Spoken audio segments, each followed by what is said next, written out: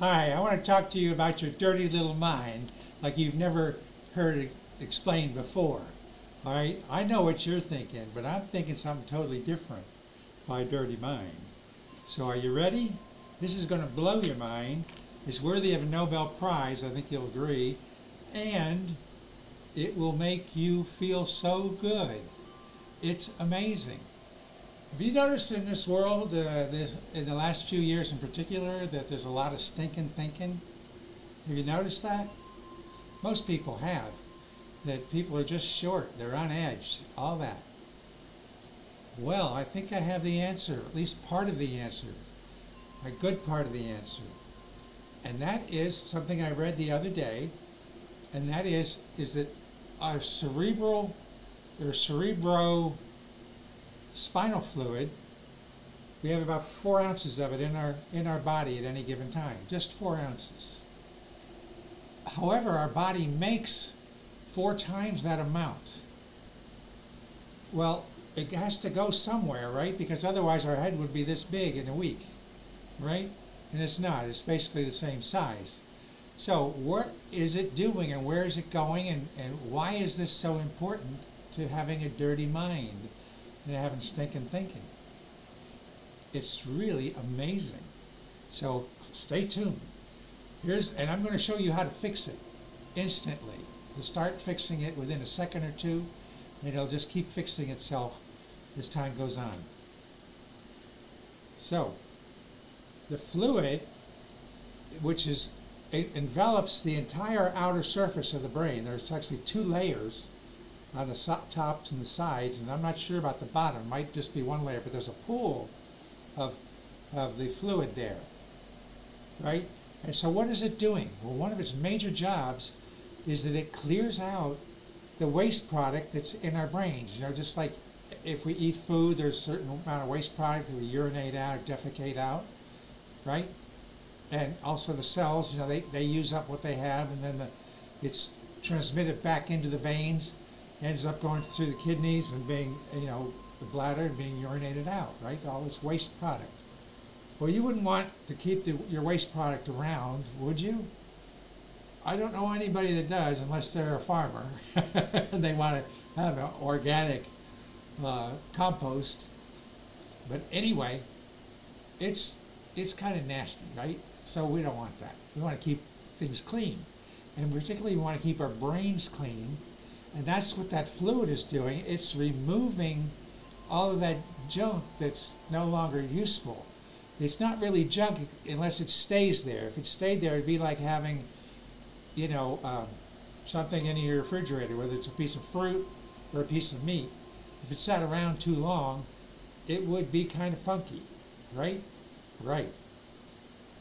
So this, it's, it's a lymphatic system that clears it out that uh, the medical profession has a special name for it because it's a little bit different looking, I guess, than a the normal lymphatic. It's called glymphatic because we have glial cells and lymphatic, so it's sort of a combination of that. So it's cleaning out all that junk. That's what the lymph does. It's a garbage pit, is your lymph system. It's, it's three times the size of your blood vessels. All right, it's big deal. So, we got, so it's cleaning it out and then it, it transfers it down to the lymph here and then it goes through the heart. I'm not sure if it goes to the lungs or not. Uh, maybe, uh, I, am not sure. But anyway, then it, it, it, gets transferred to the kidneys. Uh, yeah, so I guess it gets it, yeah. So anyway, I'm not sure the physiology exactly, if it's, you know, partially in the vein, veins and partially in the arteries.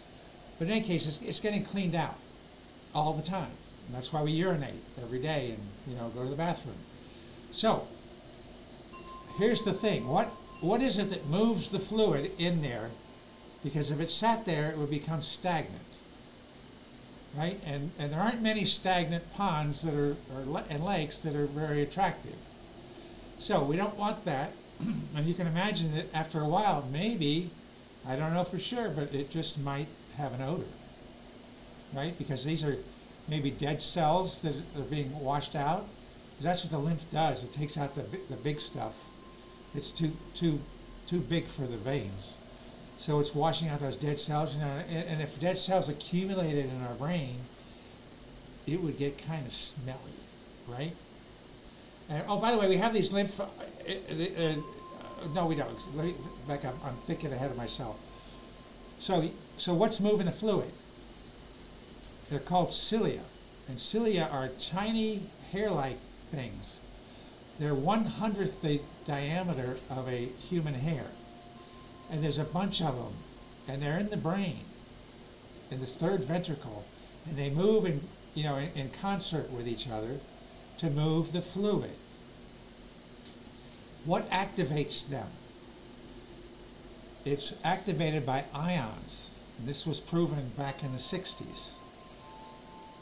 The ions make this stuff move. If it's exposed, if they're exposed to negative ions, like if you go to the ocean or you go deep in the woods or by a waterfall, it'll speed them up. And, and you'll notice that when that happens, you feel great. So we want it to go faster rather than slower. The average speed is about 900 beats a minute. But it's nice to get it up to 1,000 or 1,100, you know? Um, if it slows down, by the time it gets to 600, they, these cilia get gluey and I don't know if it produces glue from inside the cilia or if it's just because it's stagnant. Don't know, don't care. But they get glued together and then they start going this way, that way, or not at all. They're not moving. So depending on how slow it's going determines how much of that uh, dish, dirty dishwater we have floating around in our brain. It also floats around, you know, we have cilia in our nostrils, we have them in our ears, we have them in our eyes. If they slow down for your eyes, you can get glaucoma because the pressure builds up. Because that's what they do. It moves the fluid out of your eyes. We have them in our, well, women have them in their ovaries. We have them in our pancreas, in the bronchial tubes. There's probably other places that I'm not familiar with. But they're moving the fluid. And anywhere the fluid is slowed down, that could be a problem area. So maybe if you have stuffy sinuses, that could be part of the reason. So we want that stuff to move. And negative ions, which are high by the ocean, they're high in the, in the forest, they're high by waterfalls, is what we want. And, but in the last many years, and it's gradually increased, you know, cell phones started, I don't know, let's say 2000, not, that's not really, somewhere around that general vicinity, right? And that's when Alzheimer's started to increase from 2000 to 2015, Alzheimer's deaths increased by 55%. That was nine years ago when they stopped the study. I don't know what it is today, but it keeps going up, up, up, up. And it, we, at 2015, we didn't have 5G yet. We do now. And they put out repeating frequencies, and so, do, so does your smart meters in your home. I call them smart beaters they put out AC and DC, direct current and alternating current, and they spike every few seconds.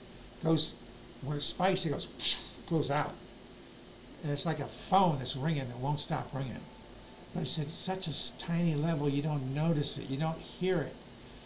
But you're inside the tiny little parts of your body, like the cilia and your microtubules, they feel it because it's, it's and it's interfering with the regular flow of what we want from the sun, which is irregular waves, irregular production of this stuff.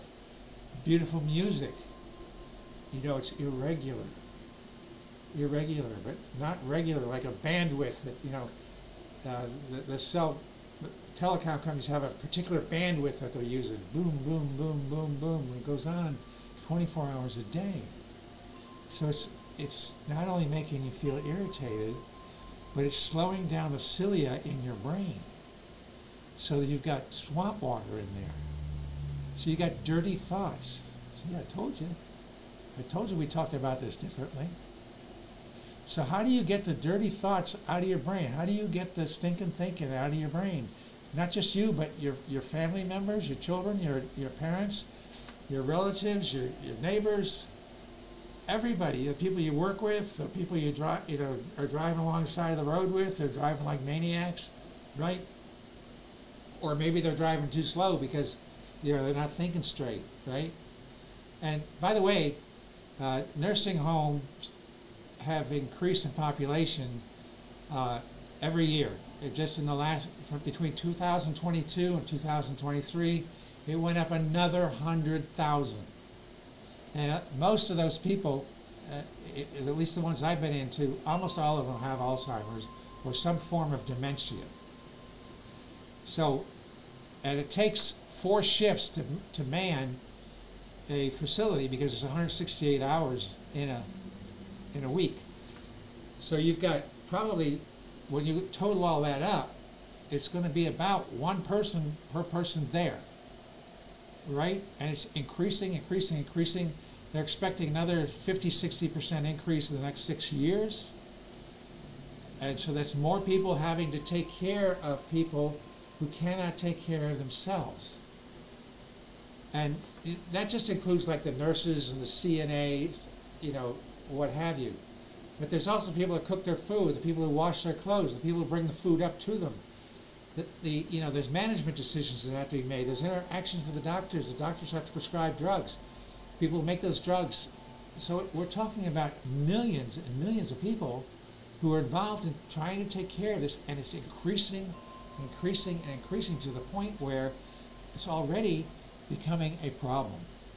In addition to the ones who are in nursing homes, there, there's probably an equal number or more of, of family members who are taking care of their aged uh, parents, and, and some of them need to be in a nursing home, but you know how, how that goes. It's, it's, it takes a while, it, it, you know, for that to happen because there's a lot of emotions involved, et cetera, et cetera.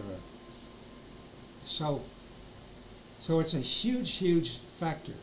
But it's not just Alzheimer's and dementia. Everybody, and there are about 8 billion people on the planet right now, everybody is being exposed to these repeating waves and the, and the positive ions from them. Everybody. So there are 8 billion people who have some level of pollution going on in their brain.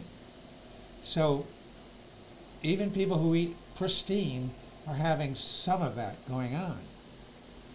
And so nobody, I mean, everybody, nobody's exempt. We all have this. So what do we do about it? Well, thank goodness it's simple to deal with this. And I'm going to show you a couple of ways to do it that you can do on your own. You don't have to buy anything from me. You just need to go to your hardware store or, or whatever. You want to get copper wire. And this copper wire is already twisted, but you take your copper wire one that isn't twisted, the energy flows only in one direction on a copper wire. But when you fold it in half, like this one has been, you see the, see if you can see the loop there.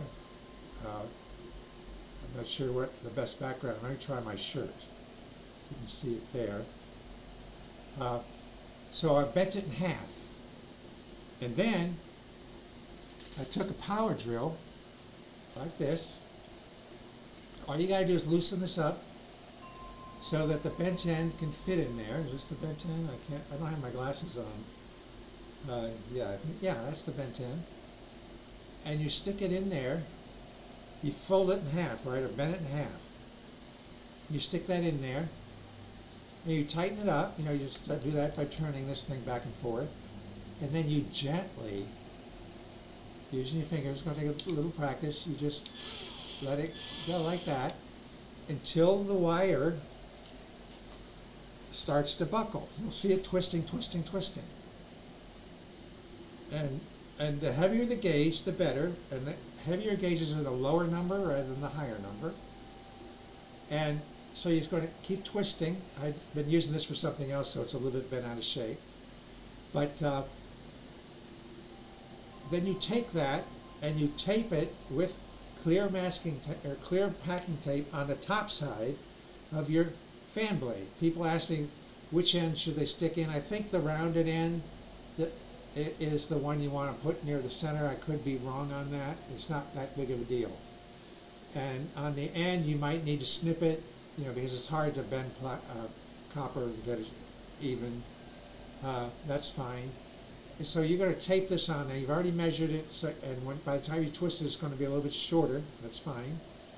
and you tape it on there, and you turn it on, and you let it run 24 hours a day. If it's too cold, you can either do you can either reverse the fan with many fans, so it doesn't feel so cold, or you just leave it on when you're not in the room because it will go through mountains, walls, and windows. And the reason this works, you know, I mentioned that the energy on, on an untwisted copper wire is just going in one direction. But when you bend it and you twist it, now those ions are banging against each other constantly along the entire length. That creates frequencies of the, the beautiful frequencies, the ones that are irregularly shaped, of beautiful music. And then when you put it on a ceiling fan and it's spinning, it's using the, the what they use in the hydroelectric plants. They spin the copper and it enables them to send the electricity, you know, 500 miles or more, like from the Hoover Dam to parts of California. Um, now we don't have magnets involved here, so we don't generate electricity. We don't want electricity. We just want the frequencies. So you're generating a bunch of electric uh, uh, frequencies. My neighbors, who used to argue, I'd hear him half the time walk out the door. I'd hear him arguing in the house across the road. It's about I don't know 60, 70 yards away. Uh, inside their house, I'd hear them. When I set this up, it was actually a prototype that was going slower. It was a record player, which is about a third the speed. Had it set up, and in the next two years, I heard him argue twice. And I think everybody's entitled to argue once a year. So it had an effect. They didn't know that they were feeling irritated by the by the the, the repeating frequencies that they're being exposed to. So by doing this, not only will it, it get rid of the irritation, it will get rid of the smog that's in your brain and in your nose and in your ears and elsewhere. If we do this, and I can tell you that if you're paying attention and you take a note of how you're feeling emotionally and mentally, when you turn it on, you'll probably notice within a couple seconds or so how you just feel something better. You feel more relaxed. People tell me when they do this, they sleep better that night and they feel energized the next day because they don't have the smog in their brain. So this is a really good idea. And um, oh, one person wrote they had roommates, housemates. They said that the arguing in the house uh, went away. So it was much, they're having a much better time. And it goes through the walls, like I said, with my neighbors.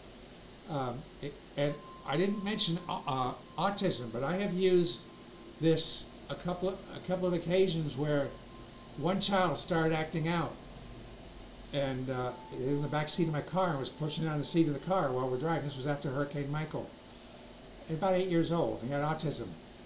And uh, the mother said that normally he, once that pattern starts, he just freaks out. And these were people I didn't know. I was helping, you know, taking them places in the car after the storm, right? So they, you know, we weren't, we didn't know each other real well. Anyway, so the child was just losing it. Well, I pulled out my little uh, whirling bliss machine, which is based on the same principles as this, and started spinning it, and within a few seconds he calmed down. His mother was blown away. So if, if you have any children with, with uh, autism, uh, check this out and see, see what kind of results you get and let us know. Let us know, you know, were they at 10 before or 12 before and now they're an 8 and maybe they're a 7. You know, makes life easier, doesn't it, if that happens. So let's, let's find out. I'm sure that if however many millions of children there are in the United States with, with autism, it would be great to find out. Uh, you know, if we could bring that down, maybe 50%. I don't know. We got to find out. You see, I don't. I'm not a researcher. I'm an inventor, and so it's up to you. If you want to research this to prove it to yourself, go right ahead. I'm just inviting people to do this. Take the risk of, of getting yourself some copper wire, twisting it, and putting it on your ceiling fans. And what we're going to see in this world, since we've got 8 billion people with polluted brains, we're going to see that pollution being cleared out, cleared out, cleared out. So their brains are going to start working better. They're not going to be as irritated. They're not, they're not going to fall for junk like, you know, that people are falling for now. So this includes every occupation, even people who are in government. This will start to clear things out. They'll start to see things more clearly and make better decisions. And I'm not going to say what the better decisions is. I'm pretty sure you know what they are. You have your own ideas. Well, let's get this the brains working so that there's clarity. And if and if they make wrong decisions, which everybody does, I make them every day. We can course correct. We can correct it. We'll go, oh, I made that decision, but it's not working out, and we can fix it the same day, the next day, or whatever. And so the world is going to be fantastic. And there's more to this. I, I want you to watch my other videos so that you can learn more about it. But I think this is not, you know, this is good enough. This is worthy of a Nobel Prize. If we can reduce Alzheimer's and other forms of dementia by 25 or 50 percent, maybe more, that would be a really good thing because it's such a demanding thing and such a heartbreaking thing. And, and I think most of us are just as afraid of Alzheimer's as we are of cancer. So let's go ahead and do this. Go out to your store, go to your hardware store because Walmart, at least my Walmart, only has 18 gauge, and that's real thin. If that's all you have, go ahead and put it up there, and then in the next few days, go out and get a heavier gauge and put it up there because every bit helps, and we need this immediately because things are really going south fast. You know, it, there's just so many things going on. So, um, you know, used to be the kinds of crazy things that go on you'd hear about a couple times a year maybe, and then and then it started gradually increasing where you know, you know like, uh, I mean when I was in school, in grade school, high school, I think there were two mass killings that made the news. Uh, Richard Speck and the, and the Texas Tower. The Texas Tower guy had a brain tumor they found, and Richard Speck was on drugs, heavy duty drugs. Very few. Nowadays, we hear about these kinds of things every week. And a lot of them don't even make the news because you have to have at least four dead in order for it to make the news. That's the criteria for a mass shooting. Um, you could have 15 people shot you know, like the shooting wasn't very accurate and there was only one or two dead. But that's going on all the time. And so we can, we can alleviate a lot of that, that people will feel more capable because they'll be able to make better decisions. And, and, and, and if you watch my other videos, you'll see how we're going to turn this world into a series of Gardens of Eden, and then eventually it will just be one great big Garden of Eden. We've had one before. We can always make more with God's help. Well, you take care. Thank you for listening. Be sure to share this video. Be sure to like it and subscribe because I have other other stuff and you want to be you want YouTube to tell you about it so that you can catch it. And, and the stuff is free, right? I'm just giving it to you for free. Well, you've been great. and uh, you take care and God bless.